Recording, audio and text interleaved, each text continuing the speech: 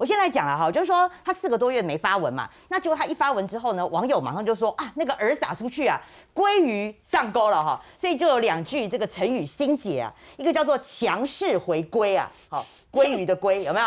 还有一个就功亏一篑，就就网友蛮有才的啦哈，功亏一篑，强势回归。好，那大大家就会，我先帮大家想起来，为什么陈佩琪会跟鲑鱼有关系哦？那当然，我一开始以为是说，因为他四个月没发文了嘛，那四个月再回来之后，那是不是代表鲑鱼回流？我一回乡对，但是后来发现不是，原来就是说他曾经也有酸过别人，就说名人带头打疫苗啊，就跟跟风鲑鱼一样可笑。哦，是这样来的，他的鲑鱼味，对对。对对对，那个鲑鱼的原也有，就是当时不是这个苏贞昌院长嘛，还有包括这个我们的这个陈时中都带头打疫苗嘛，那那时候刚好又碰到什么那个改名啊，为了吃那个寿司有没有，所以就改名这个鲑鱼啊，所以他就把两件事情所以他外号鲑鱼是这件事情，对对对，是这件事情，终于 解谜了，鲑鱼解鲑鱼解，对，那当然也有人认为说这个是什么鲑鱼回流啦，哈，就说鲑就也把它比比喻做鲑鱼节，你会害我以后不想吃鲑鱼，没有那么夸张了哈，那总而言之呢，就是呃就。大家认为说，哎，这件事情就终于把陈佩琪又又调出来了嘛？哈，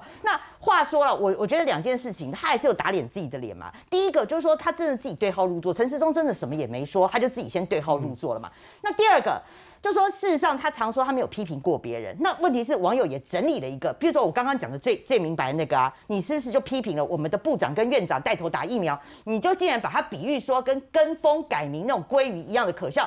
那还有就是说，当时那个 A Z 啊，A Z 疫苗来台湾的时候，那因为这个效期是有限的，所以呢，哦，那他就也是开始带头批评嘛。他说：“那你看指挥中心这样子的说法是坏还是笨？”对，那那坦白讲这种事情，那你第一个你不是也是这个在批评时政了？当然他说他是市民了，但是问题是你这不是也是在批评时政，也是在骂人吗？对不对？那其实太多的例子了啦，不胜不胜枚举啦。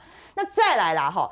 你就你就说他们夫妻俩就是蛮会骂别人的，可是自己做的事情这个都都不检讨，包括说柯市长柯文哲，他也曾经骂过蔡总统啊，他说蔡总统不不贪污，但是你身边的人每一个都贪污哦，这种指控非常非常严重哦。那你有没有为你这样子的一种我这个呃没有证据的指控，你有跟蔡总统道过歉呢？我觉得他那个指控很严重哎，他说蔡总统身边每一个人都贪污，这柯文哲亲口讲的哦。后来你没有证据，你也没有道歉，那当然现在郝龙斌恨死他了嘛。郝龙斌一天到晚现在一直杠上他的原因，就是因为他一直讲说郝龙斌这五大弊案嘛。所以那到你为了五大弊案，你有跟郝龙斌道歉过吗？看起来也没有。所以郝龙斌现在一直在针对他。所以我们每次讲说另外一组候选人就是这样。好，那回过头来了哈，那你要问我说我跑他们跑跑柯市府哈，或是跑柯文哲？我观察啦，我觉得陈佩琪哦这样子的用意大概两个点啦。第一个，刚刚冠廷有讲，我觉得最主要焦点是要转移双城论坛这件事情。所以是柯文哲叫他做的吗？呃，他们有时候夫妻是会唱黑白脸啦，包括像柯妈妈啦，哈，这种事情就是会有新闻点哈。那当然，第一个我认为是转移双城论坛，因为双城论坛这件事情，其实在我现在台湾的这个风评并不是很好，就大部分都是负面的啦哈。尤其是说你才办一个小时。一个呃，就是一个早上而已，那就是包括副市长跟这个对方副市长，你就是这样子视讯讲一讲，你你就签一个三个 M 那个不痛不痒的 M O U，那这你要到叫大家告告告诉我们，虚晃一叫乱骗人，而且如果做这个费用要一百多万的话，我真不觉得说。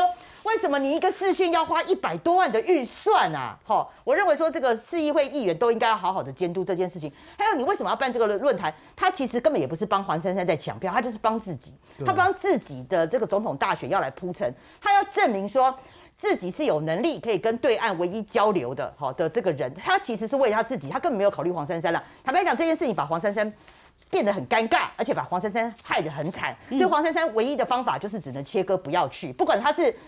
骗还是怎么样啦？其实黄珊珊那个也是胡烂的啦。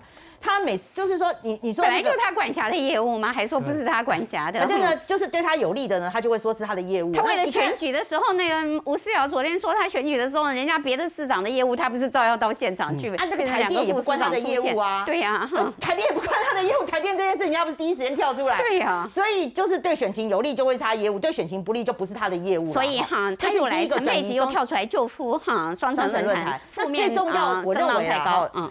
事实上，他们家最有声量是陈佩琪了。对呀，对，那所以这件事情就出来救声量。因为呢，我我一直在强调，柯文哲关他这八年八九年来，他其实最在乎就是声量，不管声量世忠一出来，声量就太哈这个高涨了，对不对？这是真的，让他怕到了，让他也啊，也就是。整个整个节奏是有有有成有有节有奏的嘛哈。你包括就是第一时间就开始脸书啦，然后公布发言人竞选团队啦，哈，那还有拍这个定妆照啦，然后另外今天又在城隍庙哈就介绍了这个陈建仁出场，就是每一天他的新闻声量全部都在陈都在陈时中身上。